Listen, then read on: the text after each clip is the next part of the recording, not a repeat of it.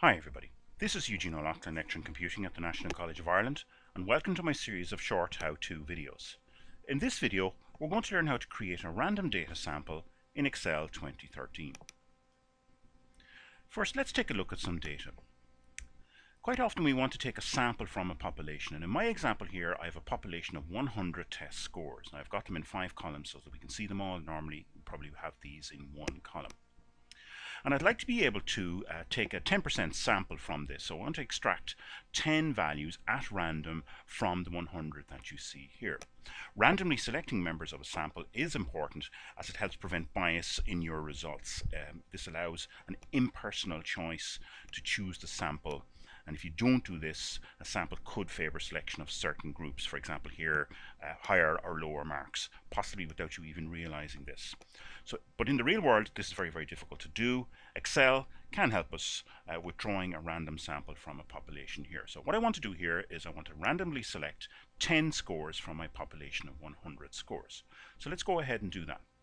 Now the option to do this is not uh, available by default in Excel, so the first thing we need to do is to turn this option on.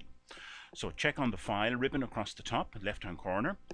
Scroll down to the Options uh, uh, button here on the left. And this brings up an Excel options um, window and the item that we're looking for here is add-ins down towards the end. So just select that. And you will probably see a different view than the one that you see here depending on the add-ins that you have installed on your computer. But just go down to the very, very end, the Manage Excel Add-ins and click on the Go button. And when you do, you'll see an add-ins list similar to the one I have here. And it's uh, you should see at the very top the analysis ToolPak, and this is the one that contains the option for random sampling. So just check that. If it's checked already, leave it checked and click on the OK button. So now when I go back to my Excel ribbons and choose the data ribbon, that's the middle one across the top here, I will see over on the right hand side of that a data analysis option. Is, this has a variety of tools for financial and scientific data analysis. So I'm going to click on that, on that button there.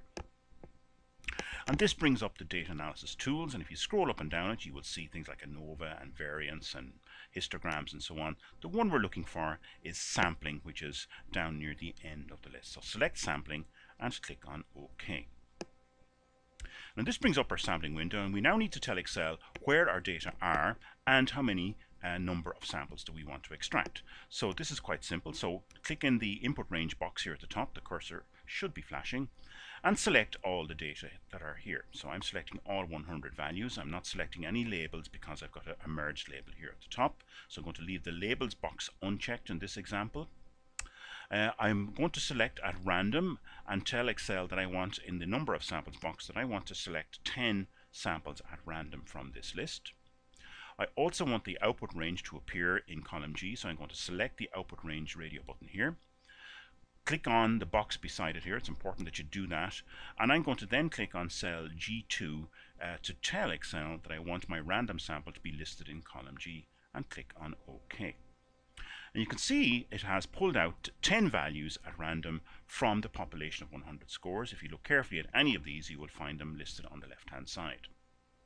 So just to illustrate that this is completely random, I'm going to do this again for a second sample. So once again, select the data ribbon, choose data analysis. Sampling will already be selected, so click on OK. If you haven't selected any other data in the meantime, the input range will still be selected as it is here. Um, the number of samples, I'm going to go for 10 again. And this time, the only thing I'm going to change is the output range. I'm going to change it from G2 to H2 and select OK and we can see we have another set of random numbers generated here which will be different from the previous sample.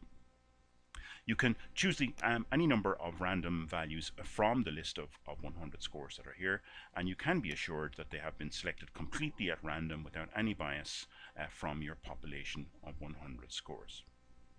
So that's how you draw a random sample da uh, of data from a population. I hope you found this video useful. Thank you for your attention.